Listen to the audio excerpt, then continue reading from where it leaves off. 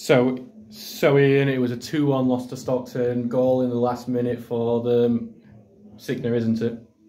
It is, and credit to our players that it's taken to the sixth game for me to have this horrible feeling of losing and to forget how bad it is. Um, but I'm very much performance driven, uh, very much driven by the process, and I thought the players deserved at least a point, if not all three today. Um, I thought we started off really well, our defensive shape was excellent, we, causing problems when we, we broke on them and got down the side.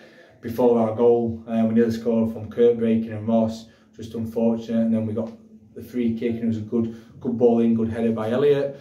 And then they didn't really have anything and we just got to learn quickly that you just got to manage the game for 10, 15 after you score. And we had more height than them on set pieces and we've lost uh, the game on, on set pieces and it's disappointing because we pride ourselves and work hard and we've let a free header for for the first one and then a scramble again like Tuesday. We've got to learn. Then second half, I thought we were a better team. I thought they were flat. I thought they didn't really cause any problems. I thought Jack Tinker kept their best player seven quiet. I thought um, Luke Lawson led the line brilliantly. I thought around around that. I thought Kurt was excellent in midfield. And we just said before the game, don't give free kicks away around the box because they're number eight. Nobody it better in this league at taking a free kick and his delivery. Um, and just the law of averages tell you they're going to score one. And Kurt was unfortunate. He knows that he shouldn't give the ref a decision, but I didn't think it was a free kick. I thought the three before were. But it's a great ball and a great header, and we're just it's just absolute sucker punch. You haven't got time to come back, and I feel for the players because they don't deserve it. And I've just said in there, look, the performance was excellent against one of the best teams in this league.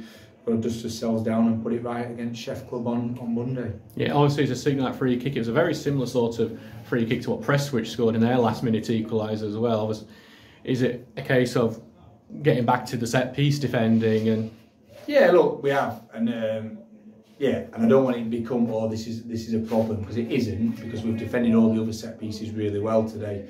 It's just unfortunate the the two we've conceded Prestwich and this one have been in the last minute you just haven't got anything to come back from even though we nearly did at Prestwich. But yeah we continually talk practice set pieces nothing matches the real thing so players have got to take responsibility and they are taking responsibility and they they want to put it right as much as I do.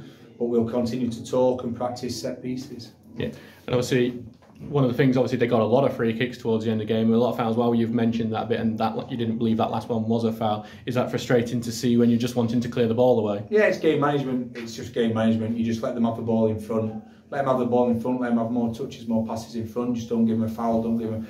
Don't attract pressure um, by making those mistakes. It's honest mistakes. Four lads have made it. I've not done it on purpose.